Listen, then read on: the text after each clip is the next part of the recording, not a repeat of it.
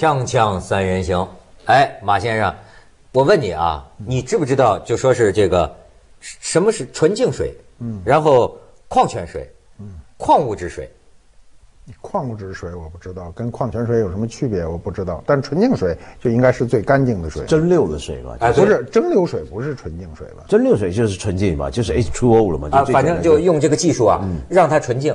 但是你知道纯净水的问题是什么呢？可能造成你矿物质缺乏，对对吧？那这个矿泉水呢，一般是来源于这个深层啊，什么地下水啊，或者什么。它的优点是什么呢？嗯，有有一些这个矿物元素，对对吧？但是它的缺点呢是容易你矿物质过多，这这吃多了也不行。那这个矿物质水，很多人把它当成矿泉水，其实矿物质水啊是把这个干净的水里啊。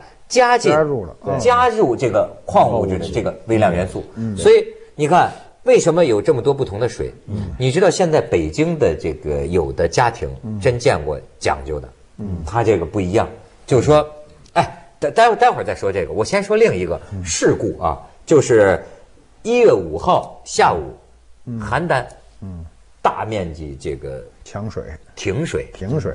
也引起了抢水，对，都抢了一空。为什么呢？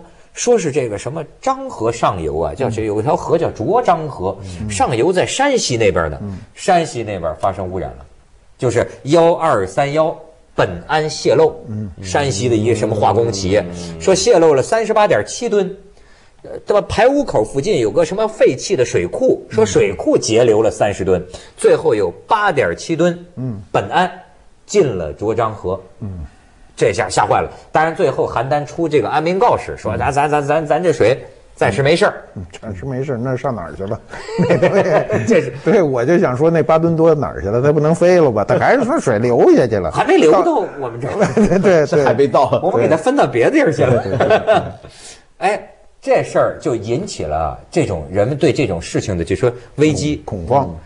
中国的这个水，你说真安全吗？我觉得难讲的，不是它肯肯定不安全，因为你比如北京的水哈，北京历史上的水就不安全。为什么？北京水特别硬。嗯。嗯，你北京那水，北京过去拿那个水壶烧水，那里头那壶碱，比石头还硬。你说那东西你都喝肚子里去了，不都？最后为什么就结石的人很多吗？你像我前些日子那个。肾结石啊啊，疼死你！它它就是因为水质啊，那结石也是那个微微量的这种元素最后沉积下来的。嗯，你喝自来水吗？我不喝，我好久不喝了，因为那自来水我看见过，特恶心，特脏。呃，你只要装一个过滤器，你就知道那儿有多脏。没错，呃，最近呃，北京不知哪个部门还是哪个方面有个说法，说我北京自来水的水质啊是全国最好的，结果呢？就有各种，他们叫现在叫吐槽，是吧？有人说，我就住那个朝阳区那个什么什么地儿，我那你拿水龙头拿纱布，在那儿过滤，过滤几天全是渣子。嗯，说你能说这样水质？但这这是你看得见的，这不可怕，可怕的是你看不见的。你知道那个过滤我安过的那个东西，那个东西就那过滤器啊，挺老贵的，安上一个，使不了半年就使不了了。水流越来越小，最后它不出水，是它被溺死了。沙子不可怕，你打开哗啦哗啦，的沙子就冲下去了。它是一种黏状的东西，说不上来，它就它就它就出不来水了。你只能把那东西扔喽。但这个要小心，就很多国家政府或者很多城市政府，他宣称我们的水很干净，保证安全。但他讲的那个所谓的水很干净的那个水，是它出水口源头处的水。从源头处那个自来水到你家中间那个过程里面，它经过无数管道，所以有时候那个水有问题，到你家水龙头开出来那个水有问题，真的不一定是源头水问题，可能是管道问题。这个管道问题有什么问题呢？比如说管道锈蚀了，还有就是管道漏洞了、渗了，有外面的东西能进去了，污染能进去了。那这都是一方面，但是中国现在最大的问题就是我们中国环境污染很厉害。嗯，这环境污染这个是一个是循环的问题，它不可能不进水的。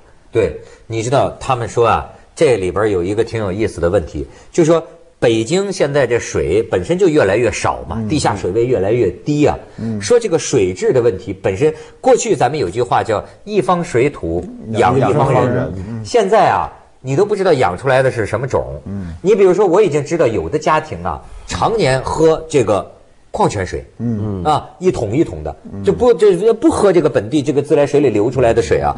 那这个矿泉水呢，你一看这说明取自哪儿呢？什么千岛湖，底下多么深层的？你看，那么它算是江南的。水土养着他们家人啊！你还有他们说，最近北京的水质有个可疑的地方是什么？水源越来越复杂了。嗯，你从呃河北、山西都从这儿调水，好多个不同水源呢，就汇聚到北京的这个自来水系统里。哎，这个也是水质啊产生变化。嗯，对，它实际上你想想历史上哈，历史上皇上都没水喝。他都去到玉泉山拉去，拉那泉水去。哎，他他有专人拉呀。这皇上喝那水，他这边就是北京市这个地方打出来的水，没有好水，都是苦的。你知道王府井有个有个叫大甜水井胡同，就那地儿打出来那水叫甜的。什么叫甜的呢？就是跟那苦的比，它是甜的。过去北京的水就特别恶劣，就是解放前了。那么解放后呢，他做的这种自来水厂，我们现在自来水就指着一拧龙头就出来。那就是人家就欢呼雀跃，就跟那个过去那水比起来，这水就已经好的不行了。但是我们小时候这这水绝对是今天，我觉得我是不敢再喝了。就是烧起来的时候，你只要是把水烧开了，那个杯透明的杯子，你看是那个污浊，浊的就是一层的。我们家就是这样的，我一直都喝着水长大的。对对对对呀，对啊。那你现在你大家都很注重身身体健康了，你现在这水。我们能看见的，我觉得不可怕，可怕的就是这种刚才说那是泄露的那泄那什么东西，苯胺啊，那苯胺它咱也看不见，它什么样的，它融在里头，那就最可怕。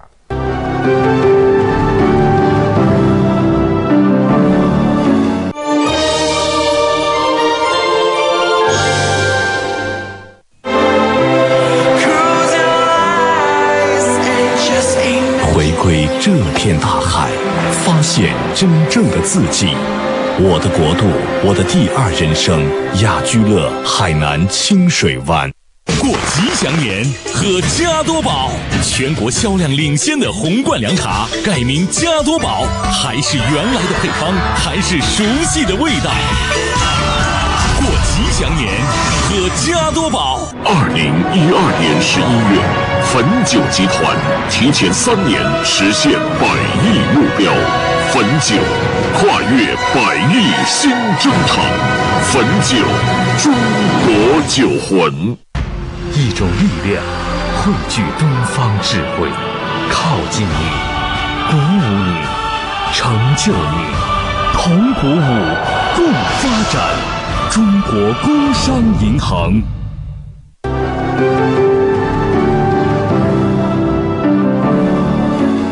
在中国生活呀，你你要是个了解内情的人呐，这不愉快，不是不愉快，很重要啊，很重要。你在中国，你要是个了解内情的人，首先你能保住你的财富，再者你有的人能保住他的性命。怎么了？你比如说这俩夫妻俩现在报道出来挺神的，北京一对饮用呃不是研究饮用水水质的夫妻，二十年不喝自来水。嗯赵飞鸿夫妇，你看他们的身份啊，老公呢？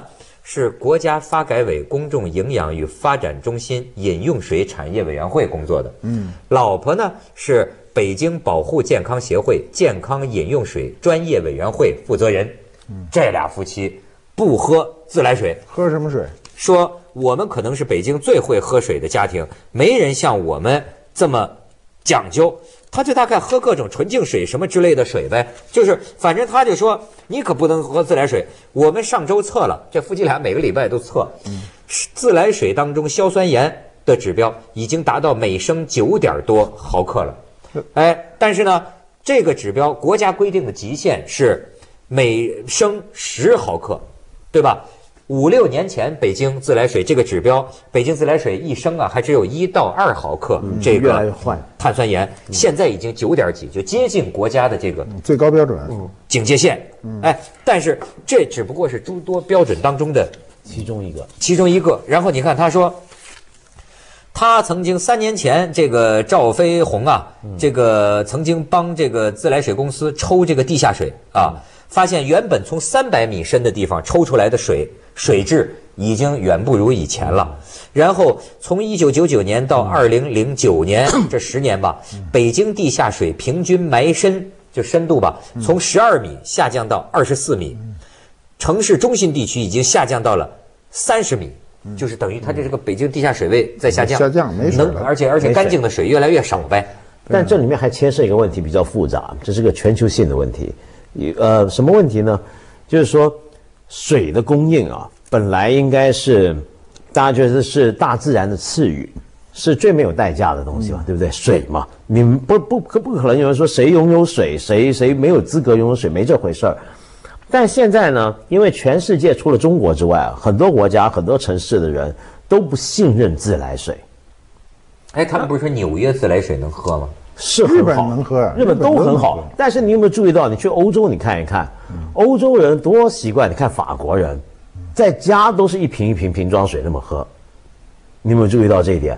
我觉得这是一个很很坏的一个现象，就是说大家都不再信任一个公共财产，都觉得公共自来水是有问题。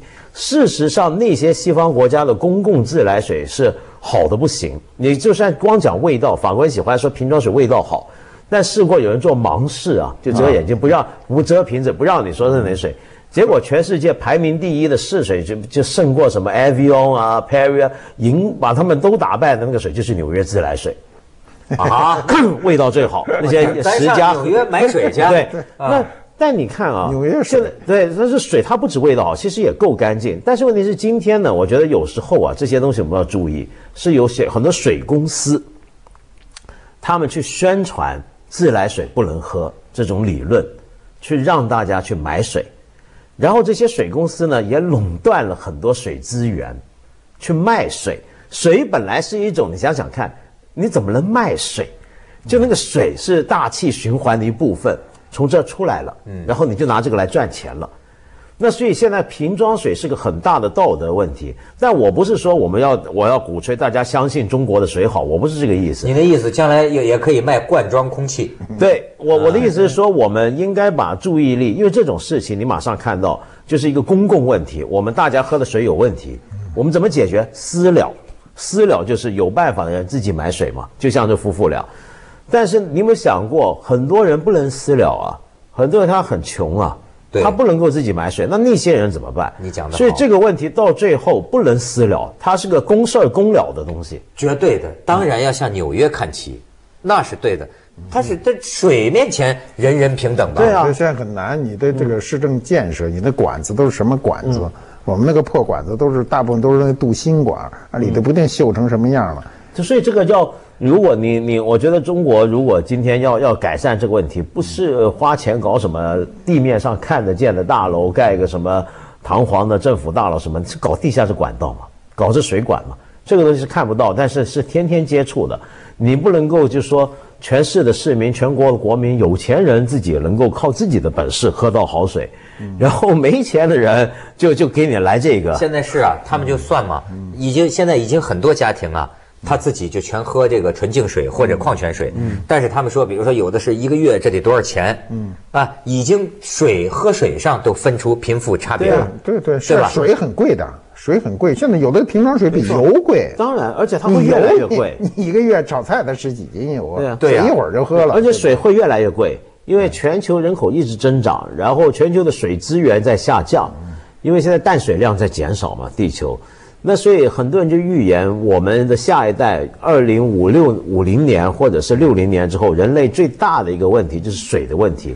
到时候的水就像今天的石油那个概念，就出水多的国家就能够富有，他卖水出去铺水管道，然后大家说不定会为了水打仗。其实其实现在已经有很多人在动手，就是我认识一个商人，嗯，就是他那天跟我聊天说起来，我说他投什么资呢？他说水，哎在哪儿呢？他是出国买这个大壶，嗯，买完以后他说那壶都很深。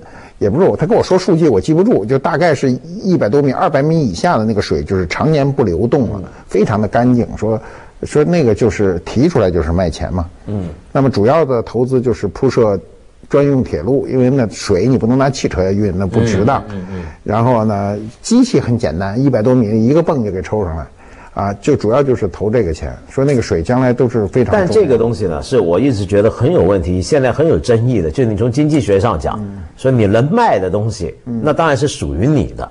但就像我们刚才，这水怎么叫属于你的呢？因为因为我们现在水是这样啊，我们全社会的系统，包括纽约，包括日本，它的水的系统是共用的，就是说你冲厕所和你喝是他妈一个水，嗯，对不对？嗯，我们在整个城市建设中没有两套水系，比如有一套水系是喝的，嗯，一套水系是用的，那北京有这叫中水。呃，对，那中水它是呃，对中水，我马桶水是分开的，对，但是很少，它不是一个整个的系统。你在国外都是一样的嘛？都它最早都是这样，这样会造成很巨大的。海边的城市就好点，像香港啊或者东京，就你靠海的城市，它一般洗厕所的水呢就是海水。那是那水是你你是海水吗？对你下回到香港，你你要是有这股心思，你尝一口这个马桶水，它是咸的啊，它咸的，它会对很多东西腐蚀嘛。呃，会，所以要常修。对，嗯，要常修。所以它这个早期这个城市建设中没考虑到这个，就水的这个这个安全是逐步提高的。你包括美国、日本这样发达国家，它也是逐步提高的，也不是生下来它就那个水就那么干净，它只不过把这个事儿呢。就是公用这个事儿，他做的特别的这个用心。我们现在是不用心，你老说我出水的时候是没有问题的，可是你到我们家接那水是肯定有问题。那就你像你说的，中间这个责任找不到的。这水啊，对人呐，你看啊，人和这个天地啊，真的有一种同构关系。就是说，水在人体的比例是百分之七十，占百分之七十；水在地球占的比例，地球的水体。也占百分之七十，哎，它这个同构关系，所以你说，哎，你喝的水绝对跟你身体息息相关。你百分之七十都是水，你想它会对你有什么影响？当然，包括你比如说我们现在说喝酒啊，其实酒里面百分之九十几都是水嘛，一瓶葡萄酒，所以那个水质，会影响那个味道多大多大。做菜煮饭还有一个数据很重要嘛，一个人只要保证你的水的供应供应没有任何外来的摄入物。你能多活二三十天，但是如果把水掐了，给你有食物，那你也是死。没错，没错。如果食物里再不含水，你那能吃吗？你根本吃不下去。水是水是最重要的。所以一早上起来要多喝水，你知道吗？一天至少得两千毫升。对，你们是这样做吗？我是啊，我喝。对，我倒是有时候我吨吨吨就喝北京的自来水啊。锵锵三人行，广告之后见。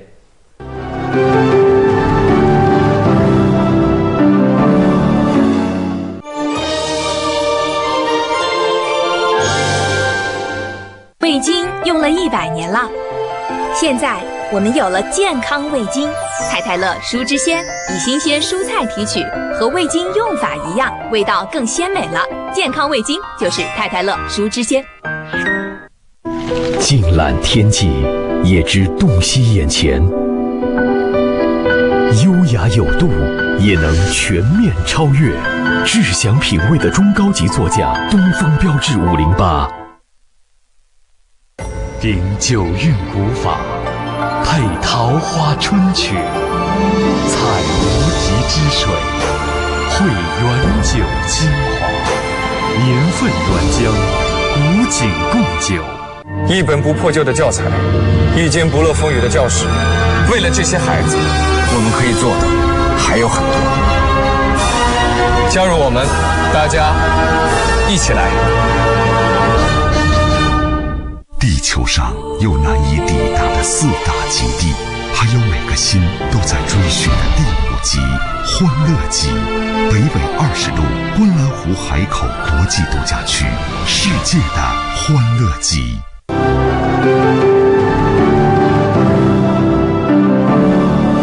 哎，你看，我查到了啊，这个最会喝水的家庭，夫妻俩都是专家啊。他们怎么着呢？他们呃，平常喝的是昆仑山。沏茶用的是海南岛的火山岩，长白山的泉阳泉，做饭用的是北京的矿泉水。常年的水质研究让他们养成自来水不碰嘴唇的习惯，就没碰过嘴唇。刷牙呢，刷牙呢。对，最会喝水的家庭之所以能称最，原因有两条，就是一个是在自然水质量信息不对称的年代，他们这个家庭比别人早二三十年知道北京自来水的质量问题。哎，每周。他们都检查，所以人家就说呀，就说这个二零零九年住建部对全国城市饮用水水质进行普查，至今没公布结果。中国很多事儿都这样。二零一一年，住建部也曾经进行抽样调查，并且发布了数据。这次发布了，说我国自来水出厂水质达标率为多少呢？百分之八十三。但是，至于哪些城市是属于那百分之十七呢？则没有了下文。而且 不你注意啊，啊，他说的是出厂的水啊，对，出不是到你终端家的管水啊，对对对啊对对。然后而且呢，我我在想啊，就其实现在这个世界真的是水的问题，将来会引起战争，这完全不稀奇，越来越复杂。你知道现在有一些世界上有一些企业啊，他们是很欢迎全球暖化的，嗯，就全球暖化大家都觉得有问题，但有些很欢迎，其实就有一个能源公司嘛，嗯比如说你全球暖化之后，就意味着什么？北极的冰更更少了，更开了，于是开了北人类一直梦想的所谓北方航道，运石油、阿拉斯加石油、挪威石油、北海石油更容易了。第二是什么呢？就水公司，就现在他们是大批的去跟阿拉斯加、跟美国、加拿大、挪威这种国家合作。到时候我们这些地方像北京缺水，北京多容易干啊历史上就缺水对啊，然后呢，挪威这些国家、加拿大这些国家就卖水给你来发财了。哎，要不说为什么有些人说想逃离中国呢？他很多人呢、有这个保命，嗯，洁癖。有这个人有钱了，你不知道他多怕死，你知道吗？我见到过的有钱人多，我就是觉得真怕死，那个爱惜自己，爱惜成什么样，就没法觉得中国不能生活。他到这程度，那一定要去加拿大啊，在中国的时候都不喝的这水，真的都不是自来水了。所以你看到，这又是刚才我们讲的一个所谓环境正义的问题。就今天中国为什么污染环境达到这么严重的程度呢？这不是一个自然而然的事儿嘛，对不对？环境污染里面其实有人是得好处的，你想想看，因为有些工厂、有些地方，它透过开某种产业，然后它在这里面牟利，那那个污染的成本呢，大家承担，对不对？污染的代价大家承担，但是到了最后，这个污染的代价到了他头上，他又不必承担了。你懂我意思？我们形象的讲一个很粗糙的比喻，我们想象有这么一个一个人，他在这个地方开了一家什么化工厂，然后他也住这儿，然后把整个村子给污染透了，水都不能喝了，赚整条村赚钱的只有他，但只有他有能力，还跑出去喝你的日本水啊，什么纽约水，你们继续留在这村子里头喝这个给我赚了钱污染过的水吧。所以这就是一个环境正义的问题，就是说中国今天的发展，呃，我们说发展是有代价的，没错，我们老说这句话是有代价，但这个代价的分配公不公平呢？平不平均呢？谁在这个发展过程里面获利了？谁在这个发展的过程里面要要要负担这个成本？中国不还说嘛，你这理儿可以安到美国呀。中国就说了，你们美国造成的这个环境，那让我们承担吗？当然你说美国，他们谁去了不说好啊？说美国食物有好吃有难吃啊，但是这个食材就说让人之放心，放心价格之便宜，哎呀，那简直是乐土，是吧？可是又有人讲说要维持美国人这种生活水平，那是建立在全世界给他们四个地球，四个地球都不够。当然啊，那么你说我们怎么办？印度兄弟怎么办？印度兄弟也整天强奸呢，你你 真的 是吧？这这怎么办呢？你就以后别把印度人跟强奸划等号，行吧？但你想想看，美国的那种，你见过美国那种灌溉方式没有？太可怕了吧！就是自动洒水机那种啊，然后洒的一一望无际的这个呃呃草莓啊，那种水果田啊，一望无际的在那边洒。其实它很多水都是大量的浪费掉的。呃，很多人家门口，美国人不是喜欢住那种平房，然后两层楼有独门别院，然后房子前面都有个草坪嘛，每天下午就啪啪啪就自动洒水，你知道没见过？我现在就发现这个就是这种现代社会，八零后、九零后这个家里稍微有点钱的孩子，你说在美国、在英国的，我真亲眼见到，比如说大家在一起啊，呃，离开酒店的时候，嗯，说这个鞋哐叽就扔垃圾桶了，嗯，我说你这鞋不是刚买的吗？嗯，啊，这个这个这是我临时买的，我需要跑步，我买一双这几天的跑步我们不要了就扔了扔了。你说现在很可怕。这有钱孩子吧？呃，这就是这种啊，不是，它是一种理念。美国人实际上就是这种理念，只不过他这个是个极端的表现而已。你知道当美国人就是很多东西乱扔。当年发生过这个尼克松喜欢尼克松访美的时候，接着下来为您播出服务员西安追出来楼冠拿着个文明长筒袜启示录美国使使使团的一个。